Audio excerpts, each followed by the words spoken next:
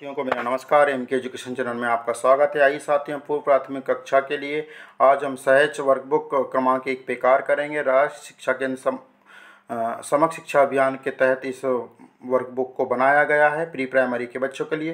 तो वीडियो को शुरू से अंत देखें चैनल को कर लें सब्सक्राइब। कह रहा है, अनेक वस्तुओं पर सही का निशान लगाना है। इसके पूर्व में हमने एक वस्तुओं पर सही का निशान लगाए थे।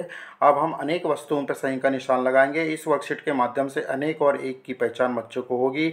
एक संख्या एवं अनेक संख्याओं को बच्चों पहचानना सीखेंगे। तो आइए देखते हैं, जैसे यहाँ एक फूल है और यहाँ पर एक, दो, तीन, चार तो यहाँ पर हम सही का निशान लगा देंगे, क्योंकि एक से अधिक यहाँ पे फूल दिए गए हैं। इसी प्रकार एक गमला है और यहाँ पे एक, दो, तीन, चार, पाँच है।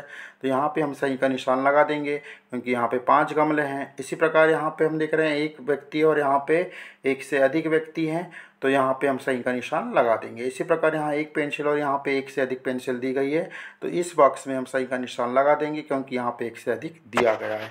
और प्रश्न में भी कहा गया है कि एक से अधिक वाली वस्तुओं पे सही का निशान आपको लगाना है। इस तरह बच्चे यहाँ पे वस्तुओं को गिनना भी सीखेंगे और एक से अधिक वस्तुओं को पहचानना या कौन सी वस्तु है वस्तुओं को भी, पहचानना सीखेंगे। तो बहुत ही मज़ेदार यह कहना चाहिए गतिविधि है। तो इस वीडियो के माध्यम से बच्चे ज़रूर कुछ ना कुछ सीखे होंगे।